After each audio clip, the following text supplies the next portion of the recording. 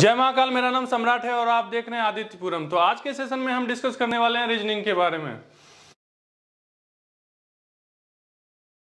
सबसे पहले रीजनिंग में जो इंपॉर्टेंट चीज़ है वो है कि आपको जो है सॉल्व करने से पहले ये चीज़ याद कर लेना है कि किसका वैल्यू क्या होता है। जैसे ए का वैल्यू एक बी का वैल्यू दो सी का वैल्यू तीन, इस तरह से जो है ना टोटल आपको 26 के 26 लेटर का वैल्यू याद कर लेना। क्योंकि यदि आपको वैल्यू याद रहेगा तो आपको सॉल्व करने में जो है बहुत आसानी होगी।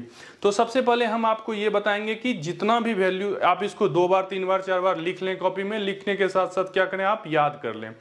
क्योंकि जब आप याद कर लेंगे तो आपका जो है टाइम बहुत बचेगा जब आप इसे सॉल्व करेंगे।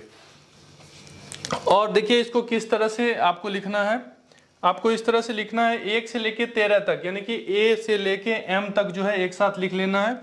A B C D E F G H I J K L M N और एम तक ही लिखना है। ये तेरह तक लिखना है, उसके बाद जो है नीचे से यहाँ लिखना है आपको N O P Q R S T U V W X Y Z तो ये देखिए, ये आपका एक क्लॉक वाइज हो जाएगा, यानी कि सीधा सीधा हो जाएगा, ठीक है?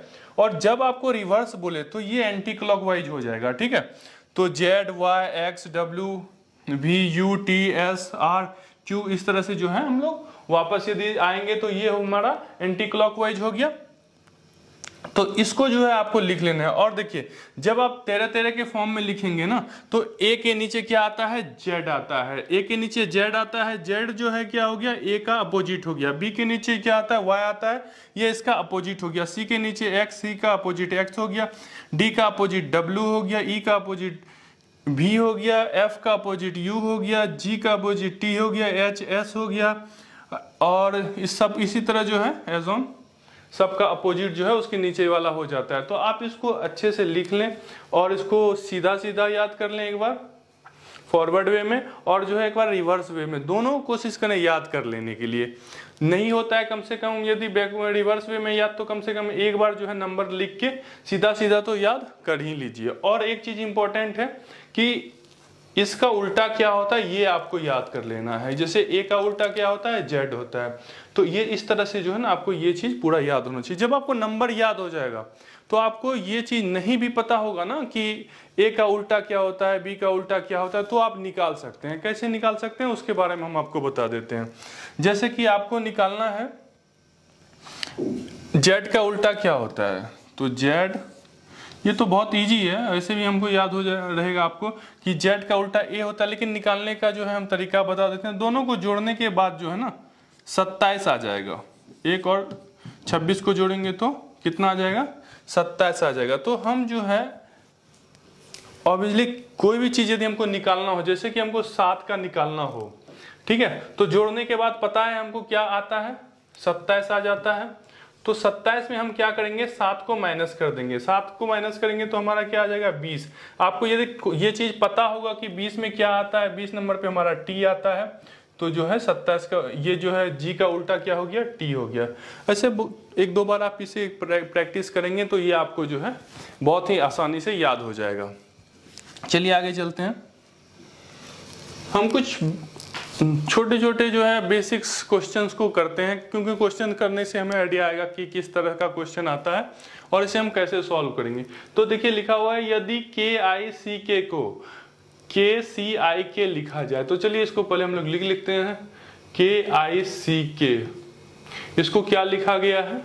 इसको लिखा गया है के सी आई के ये लिखा गया है। और क्या है? एम ए ए एन इसको लिखा गया है एन ए एम इस तरह से दोनों को लिखा गया तो अब वो पूछ रहा है कि जी ओ ओ डी को क्या लिखा जाएगा?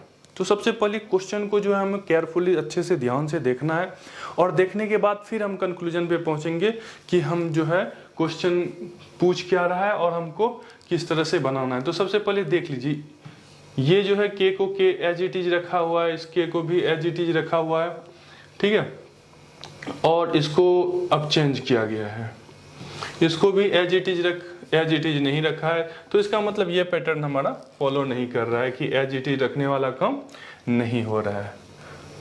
तो चलिए अब दूसरा पैटर्न देखते हैं कि कभी कभी क्या होता है कि एज इट इज़ रख लेता है या एक बढ़ा के या एक घटा के इस तरह से जो है पैटर्न दिया जाता है। लेकिन यहाँ पे देखिए कि इस तरह से इसको हम क्रॉस मल्टीप्लिकेशन के थ्रू देखिए कि इसको जो है यहाँ रखा गया, उसके बाद का फिर रखा गया, फिर उसके बाद का रखा गया, फिर उसके बाद का रखा गया। तो इस तरह से हमारा जो है एक पैटर्न बन जाता है। यहाँ भी सेम पैटर्न फॉलो होता है। पहले इसको रखा गया, उसके बाद फिर इसको रखा गया, फिर इसको रखा गया और लास्ट में इसको रखा गया।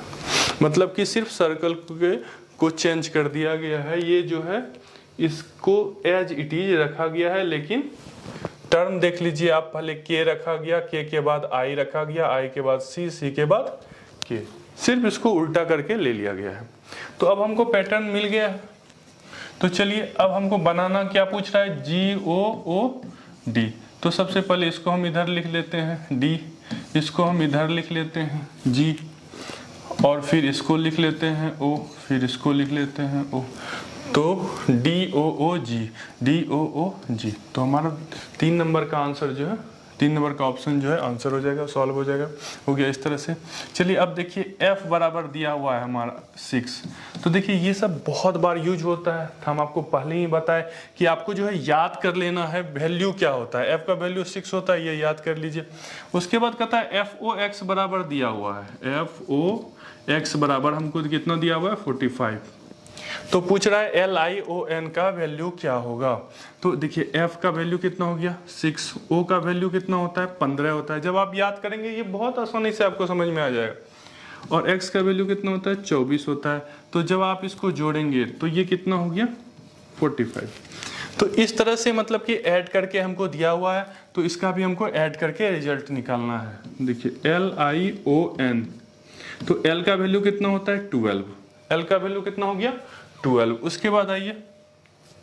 उसमें प्लस करना है। आई का वैल्यू कितना होता है? नाइन ओ का वैल्यू कितना होता है? फिफ्टीन एन का वैल्यू कितना होता है? फोर्टीन तो जब आप इस सबको ऐड करेंगे तो five plus nine nine nine nine eighteen eighteen plus two twenty twenty plus ten thirty thirty plus ten forty forty plus ten, fifty.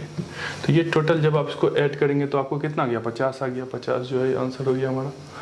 काफ़ी आसान है, बस है कि आप इसे प्रैक्टिस करें। सबसे पहले तो आप जो है ए से लेके जेड तक का जो है, जो भी नंबर है फॉर्म में उसे याद कर लें किसका वैल्यू क्या होगा।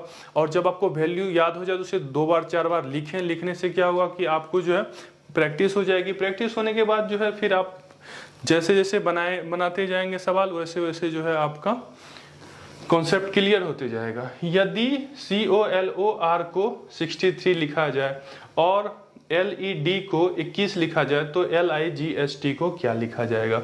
सेम टू सेम सवाल है। देखिए, इसको करके बताते हैं हम।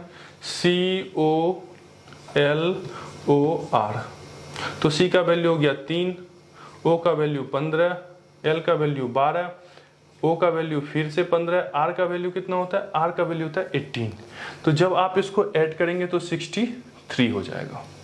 ठीक है? उसी तरह दिया हुआ है एल ई डी तो एल का वैल्यू होता है बारह ई e का वैल्यू फाइव डी का वैल्यू चार. तो बारह चार, सोलह. सोलह पाँच इक्कीस. ऑलरेडी दिया हुआ है वैल्यू इसका मतलब है कि सबका जो है डिजिट का वैल्यू पहले लिखा गया, उसको फिर ऐड किया गया ऐड करके जो है दिया गया। तो फिर अब हमको क्या कहता है निकालने के लिए?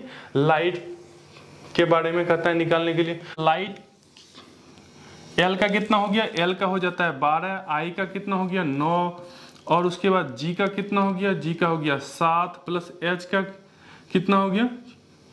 एच का होता है आठ, और टी का कितना हो गया? टी का हो गया बीस। तो अब इसको टोटल को ऐड कर दीजिए। ऐड करने के बाद क्या हो गया? बारह प्लस नौ, इक्कीस हो गया। इक्कीस प्लस सात, अट्ठाईस, आठ, अट्ठाईस प्लस आठ, छत्तीस छत्तीस प्लस बीस, छप्पन। ये हमारा छप्पन जो है आंसर हो गया। काफ़ी आसान है। तो जैसे जैसे आपको नंबर याद हो जाएगा नंबर याद होने के बाद जो है, फिर आप इस पे प्रैक्टिस करेंगे। जैसे जैसे प्रैक्टिस करते जाएँगे, आपको ये समझ में आते जाएगी। इस तरह से देखिए आप दूसरे पैटर्न पे चलते हैं। किसी कूट भाषा में कानपुर को इतना लिखा जाता है और अलाहाबाद को इस तरह से लिखा जाता है तो लखनऊ को क्या लिखा जाएगा? चलिए, बहुत आसान है। तो देखिए, अब देखिए एल को क्या लिखा गया है? ये आपको कहाँ से? इस दोनों पैटर्न से निकल निकालना है। तो देखिए एल को लिखा गया है ओ यहाँ से आपको पता, इसका जितना भी लेटर है, इसमें से मिल जाएगा। दोनों पैटर्न को हम देखेंगे, दोनों पैटर्न में से हमको क्या होगा कि नंबर मिल जाएगा। बहुत सारे रीजनिंग के क्वेश्चंस होते हैं, बहुत सारी वेराइटी होती है। कुछ कुछ वेराइटी हम इसमें कवर करेंगे। अगले वीडियो में जो है हम फिर और भी बहुत सारे क्वेश्चन को कवर करेंगे। पता चलते जाएगा आपको किस तरह से जो है एग्ज़ाम में पूछा जाता है। तो अब देखिए एल का वैल्यू हमको यहाँ से पता चल गया। ओ हो गया, ठीक है? यू का वैल्यू यू देखिए कहाँ है? ये कानपुर में यू है। यू का वैल्यू जो है हमको एक्स पता चल गया। तो ओ एक्स जो है अभी भी दो में है। ये जो है हमारा नहीं होगा ऑप्शन ये भी नहीं होगा क्योंकि ओ एक्स ओ एक्स नहीं है इसमें। तो चलिए उसके बाद अगले पे जाते हैं। सी सी कहाँ पे है? सी जो है ऑलरेडी सी जो है, हमारे ना ही तो कानपुर में है ना ही इलाहाबाद में है। सी नहीं है। चलिए आगे देखते हैं उसके बाद के के कानपुर में है। के का वैल्यू कितना है? एन तो यहाँ से हम के का वैल्यू एन रख लेंगे। ठीक है? ओ एक्स उसके बाद जो है, चौथे नंबर पे एन आ रहा है। तो ओ एक्स और चौथे नंबर पे एन जो है, यहाँ पे हमारा आ रहा है। यहाँ देखिए एम आ गया।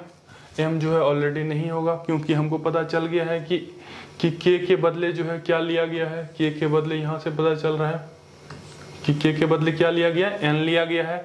तो चूँकि के के बदले एन लिया गया है, यानी कि चौथे नंबर पे यहाँ तीसरा नंबर हमको नहीं पता है सी के बारे में यहाँ दोनों से हम पैटर्न से हमको मिल नहीं रहा है तो हम चौथे पे आ गए। ओ एक्स और चौथा कुछ भी होगा एज इट इज़ उसके बाद तीसरा नंबर पता नहीं चला, चौथा नंबर से पता चल गया एन होगा। तो यहाँ पे एम है, ये ऑप्शन भी हमारा एलिमिनेट हो गया। तो उसके बाद बच क्या गया? ये लास्ट वाला ऑप्शन जो है हमारा आंसर हो जाएगा। रीजनिंग में क्या है कि आप जितना ज़्यादा माइंड लगाएँगे, उतना ज़्यादा, उतना समझ में आएगा और बहुत जल्दी जो है आप रिज़ल्ट पे पहुँच पाएँगे कंक्लूजन निकाल पाएँगे। देखिए अगला क्वेश्चन कि यदि जी ओ एल डी को इस तरह से लिखा जाता है तो इसको क्या लिखा जाएगा? तो सबसे पहले चलिए आते हैं। इसको पहले देख लेते हैं नंबरिंग करके। जी ओ एल डी ओ का वैल्यू कितना होता है? पंद्रह। एल का वैल्यू कितना होता है? बारह। डी का वैल्यू कितना होता है? चार। और जी का वैल्यू सात होता है। तो अब देखिए इसको किया, किस तरह से लिखा गया है? टी इसको बीस लिखा गया है। इसको कितना लिखा गया है? एल यानी कि बारह लिखा गया इसको कितना लिखा गया है? ओ, यानी कि पंद्रह लिखा गया है। और इसको कितना लिखा गया है? डब्लू डब्लू का वैल्यू कितना होता है? तेईस होता है। तो इस तरह से जो है हम सारा चीज़ इसको लिख लिए। लिखने के बाद जो है, अब हम देखेंगे कि इसमें किस तरह के पैटर्न को फॉलो किया गया है। तो हम आपको बताए थे कि जब ए बी सी डी जब स्टार्टिंग में A B C D E E F G H I J K L M इस तरह से हम बताए थे कि लिखा हुआ था और सबका वैल्यू जो है बोले थे कि वहाँ लिख लेना है आपको।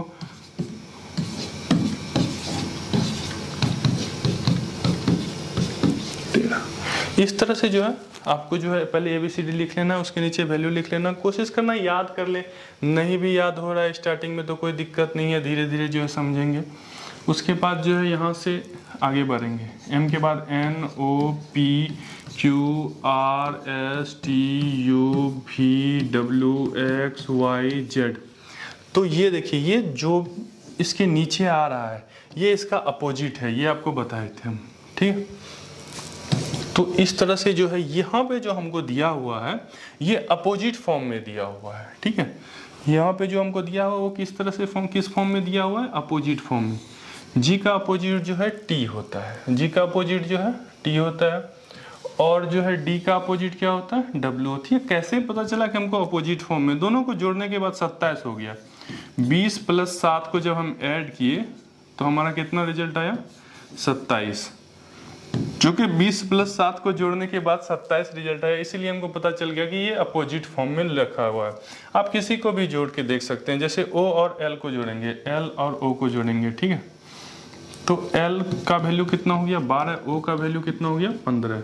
दोनों को जोड़ने के बाद क्या आ गया? सत्ताईस। तो हमको पता चल गया कि ये अपोजिट फॉर्म में है। आप भी इसे जब लिख के एक दो बार याद कर लेंगे और उसके बाद फिर इसको देखेंगे तो आपको भी समझ में आएगा। ये बहुत ही आसान है। तो चलिए, अब हमको क्या करना है? अपोजिट फॉर्म में रखना है, ठीक है? तो सी का वैल्यू कितना होता है? सी का वैल्यू तीन होता है। तो सत्ताईस में तीन घटा देंगे तो कितना हो जाएगा? चौबीस हो जाएगा। सत्ताईस में तीन घटा देंगे तो क्या हो जाएगा? चौबीस हो जाएगा। अब देखिए, चौबीस का वैल्यू आपको पहले याद होगा, तभी तो पता होगा कि हाँ भाई, चौबीस का वैल्यू कितना होता है।